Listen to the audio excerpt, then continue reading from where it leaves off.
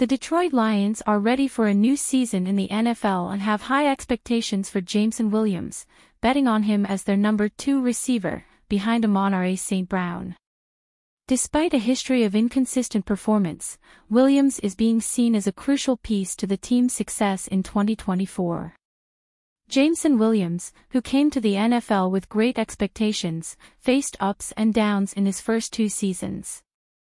However, NFL analyst Matt Harmon believes Williams is poised to make a significant leap this year.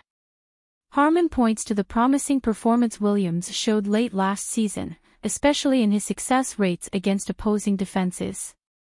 Harmon points out that if Williams can maintain the same drive and confidence he's shown previously, he could have a breakout season.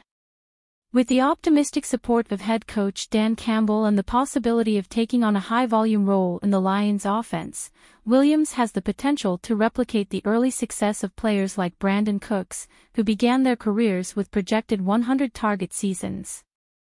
That's it for today, folks.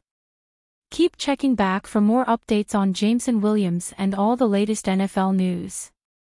Don't forget to like, subscribe to the channel and activate the bell so you don't miss any content. To the next.